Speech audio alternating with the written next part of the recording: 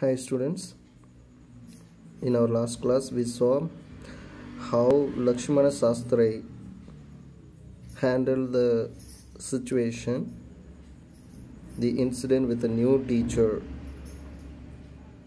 After school, they all, I mean Abdul Kalam and his friends, went home and told their respective parents about the incident that happened. What was the incident? The incident was when the new teacher came to the class, he made Abdul Kalam to sit at the back row. Why? Because he was a Muslim boy and sitting with the Hindu boy in the same row, just next to each other. So, this incident was brought to the parents after the school and Lakshmana Sastri called the teacher and in uh, their presence he told the teacher that he should not spread the poison of social inequality and communal intolerance in the minds of innocent children. He bluntly, plainly, openly asked the teacher to either apologize or quit the school and the island. Not only did the teacher regret his behavior, but the strong sense of conviction. Conviction means what? Opinion or belief. His belief. Lakshmana Sastri conveyed ultimately reformed this young teacher.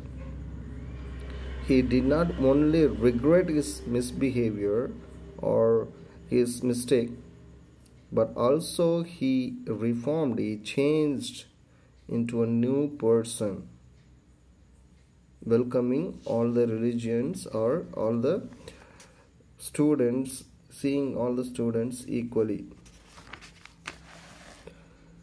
So, what happened next? On the whole, the small society of Rameswaram was very rigid in terms of the segregation.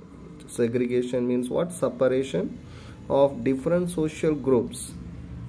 However, my science teacher Siva Subramania Iyer, though an orthodox Brahmin with a very conservative wife, he was an orthodox Brahmin, very strict Brahmin, means uh, following the rules of Hindus very strictly, as well as he had a conservative wife, the same kind of traditional wife was something of a rebel. Rebel means what?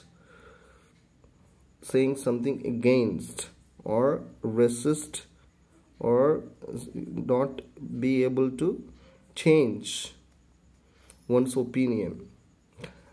She was not able to change her way of behaving, her way of uh, believing things. Who he did his best to break social barriers. Who? Subramania Iyer, his science teacher, did all his best to change or break social barriers so that people from varying backgrounds could mingle easily. Students as well would be able to mingle with each other beyond their religious or religion indifferences. He used to spend hours with me and would say, Kalam, I want you to develop so that you are on par with the highly educated people of the big cities. So, this was the encouragement of his science teacher, requesting Kalam to study hard so that he would be equal with the highly educated people of big cities. One day he invited me, invited Kalam to his home for a meal. His wife was horrified by looking at a Muslim boy coming into her house. At the idea of a Muslim boy being invited to dine, to eat in her ritually pure kitchen. A ritually pure kitchen means the kitchen is protected, is kept protected from all outside influences for the observances of religion.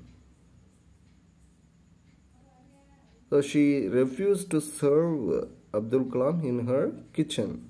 Siva Subramania Iyer was not perturbed means he was not disturbed by the behavior of his wife nor did he get angry with his wife he did not even get angry with his wife because he very well knew about his wife that she wouldn't like all these things in order to change her conservative ideas he brought abdul kalam to his house to dine with him but instead served him with uh, his own hands and sat down beside him to eat his meal. Look at the first step of his science teacher. His wife watched us from behind the kitchen door. I wondered whether she had observed any difference the way I ate rice, drank water, or cleaned the floor after the meal. Abdul Kalam was wondering whether she had observed that he ate in different ways from uh, them theirs or even drinking water so all the the way of eating and drinking water and cleaning the meal everything she was observing and Abdul Kalam was wondering whether he was doing it wrong different from their ways when I was leaving his house, Sivasubramania Iyer invited me to join him for dinner again the next weekend. Observing my hesitation, he told me not to get upset, saying, Once you decide to change the system, such problems have to be confronted. Confronted means what? Faced or tackled. So, this was the encouraging words to Abdul Kalam. If you decide to change something, you need to face the consequences, problems. When I visited his house the next week, Sivasubramania Iyer's wife took me inside her kitchen and served me food with her own hands. So this transformation took place in her. Then the Second World War was over and India's freedom was imminent. Imminent means what? About to come, about to occur. Indians will build their own India, declared Gandhiji. Gandhiji said this we need to form our own India after getting freedom from British. So the whole country was filled with an unprecedented optimism. So they they had their own tendency to build their own ideas. So i asked my father for permission to leave rameswaram and study at the district headquarters in ramanathapuram. Now the people were freely to move to different districts or different places to go for their further studies so he requested his father to go